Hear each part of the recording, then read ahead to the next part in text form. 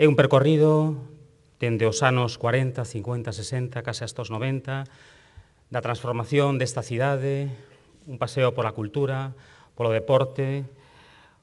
pola política, pola transición política que houbo tamén en Santiago de Compostela, e realmente é algo para que quede aí, para,